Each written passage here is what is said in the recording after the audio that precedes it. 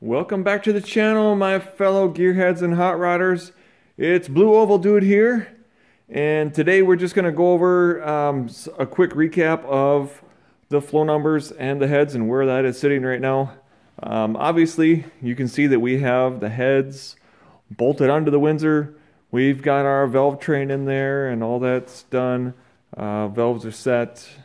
Uh, we've got our uh, extreme duty Crower uh, roller lifters and our 8.450 inch uh, push rods in there. Uh, there's a lot of things that I did to this engine that I didn't do videos on. Uh, you know, there's just so many things to cover on this. I don't know, you know, what what uh, is going to help people out. So I just some of the things I just glossed over and just got it done um, and moved on. So anyway, we're here to talk to flow numbers. That's the main thing today. So here we go. And um, I'll say about these heads, um, now that I've done a lot of work with them uh, and worked on them, um, I'm going to say that there's some of the shapes uh, they could have cast a little bit differently. Um, you know, it would have worked out better, but um, you know, for what they are and the price point that they are, it's it's you know really pretty decent.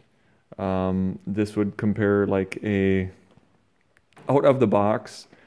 Um, you know, this is going to be better than uh, uh, GT40X, or this is going to be comparable. Like if it was a Chevy head, it's going to be it's going to be better than an Iron Eagle 200, or like a Blueprint um, aluminum uh, small block Chevy head. This is going to be comparable to that out of the box, uh, and actually cheaper than that. So, it's you know it's pretty decent. We've talked about that a little bit.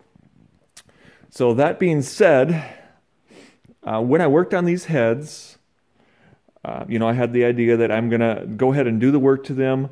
That basically uh, anyone else should be able to replicate in their garage with, um, you know, if they had enough uh, knowledge and experience to be able to, you know, replicate this, um, not using a flow bench in, in order to uh, find out where the weak spots are and where you can improve them. So basically, just a budget port job that uh, anyone else should be able to do in their garage. Uh, you know, if they have that.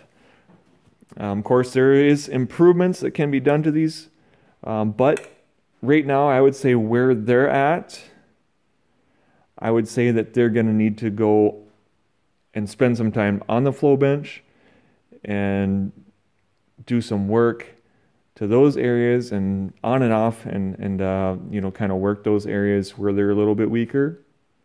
Uh, but that's going to take time and money in order to do that. And, you know, Obviously, people normally don't have a flow bench uh, to their access. So, kind of that's where that's at. So, I would say, yes, these can be better than where they are. So, let's talk about where they are and uh, just kind of um, how these worked out. So, all right, here we go. We got the numbers here. And Remember up here is our out of the box where they came out when we tested them. So 120 at 2, 171 at 3, 219, 243, topped out at 252 at 600. So pretty solid head out of the box on the intake side. We both we've talked about this in the past. The exhaust side left some to be desired, but the intake side was wasn't really that bad. Um, so anyway, our new ported numbers, we were at 120. Now we're still at 120 at 2, 171. And I didn't expect this to pick up very much on the lower side of it. Uh, 171, 177 now at 3. And then we were at 219 at 4, and now we're at 220.5. So already down here, on the intake side at 300, we're already better than a stock head. So uh, the only one that's going to be better than this would be uh, a P head would be a little better than this. But still, we're, you know, at 300 thousandths, we're right up in that range. And over here at 4, yeah, we're spanking it. And then at 500 thousandths, we were at 243. Now we're at 256. So that's 13 CFM better right there at 5. And at 600 thousandths, we were at 252. And that's where it topped out at, at 600 thousandths. It didn't get any better. And now we're at 273 at 600. And this is kind of what I expected, this upper range, you know, about from 500 up to, uh, you know, pick up quite a bit of CFM in that area. And then at 700 thousandths, of course, we were at 252 out of the box. Now we're at 280.5. So we are 28.5 CFM better than we were out of the box. So by the intake numbers uh, out of the box before, we can see that we could, uh, it was possible to make over 500 horsepower out of the box. And now we can see that it's possible to make you know close to that 600 horsepower range uh, with this engine. So quite a bit of improvement there on the intake side. Quite a bit. So now let's go ahead and take the exhaust side, which is where it was the weakest before. And let's take a look at that. There's our original figures oh, from out of the box. And here we go. Um, let's see. The exhaust out of the box right there where that E is. That it was 110, 141, 163, and then 166, and that was it. And that was the end of it. All right. So pretty much at 4, it was almost done 163. So we were at 110 at 2 out of, out of the box. Now we're at 116. We're at 141 at 300. Or maybe I can move this up there. You can see that. We're at 141 out of the box. Now we're at 163. And this is really where I wanted to improve the most was the exhaust portion. Uh, so right there, that's 22 CFM at 300 thousandths.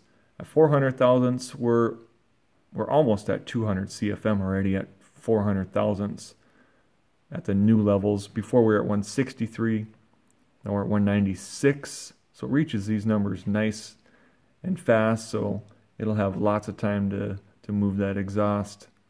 At 500, we did 201 and before we were at 166, which was the top point before. Now we're at 201, so that is 35 CFM roughly.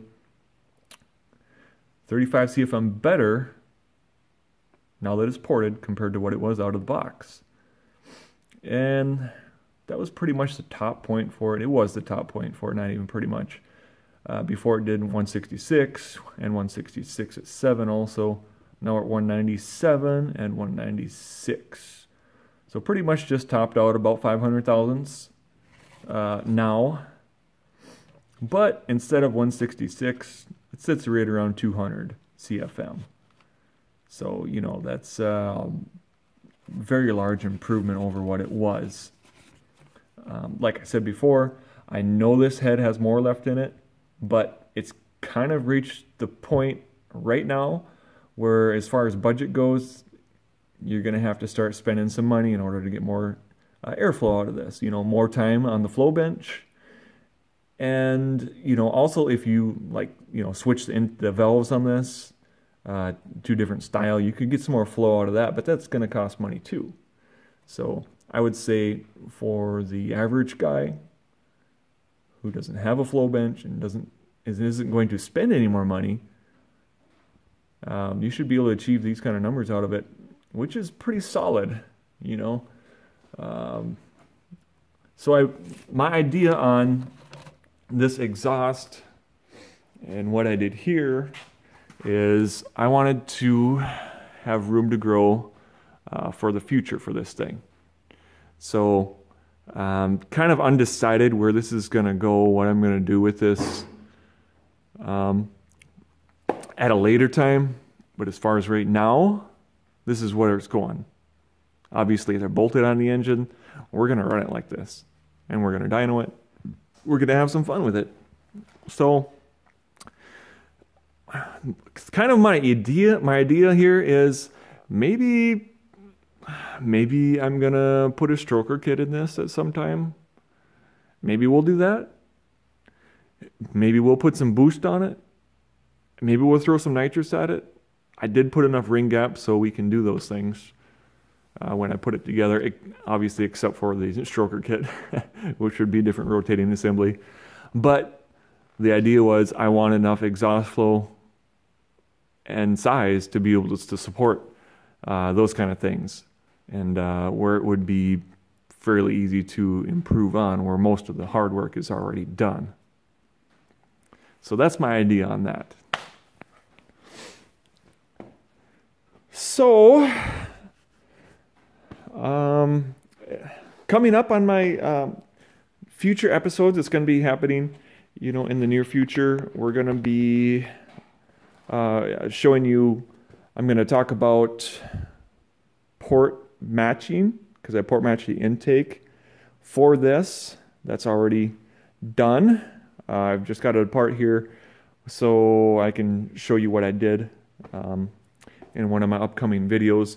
Uh, rather than gasket matching, which is an incorrect way to port your intake manifold. Gasket matching is not the right thing to do for your intake. Just I'm to lay that out for you right now. Port matching is the thing you should be doing to your intake manifold if you want to improve that. And I'm going to explain that in that upcoming video and show you how to do it. Um, also, we'll go over the parts list on this. And uh, like I was saying before, um, obviously this thing is going to be going on the dyno. Kind of had some waiting time for that. You know, they keep laying me back on that, the whole COVID thing. And But I really want to be in there and do some dyno videos. And I'm hoping I can do some, um, a little bit of part swapping and uh, do some comparisons. I we'll see how that works out and see what I can get done.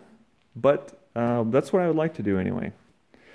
So, I guess until next time, remember to hit that like, share, subscribe, keep wrenching, keep working on your hot rods, keep racing, keep having fun with them.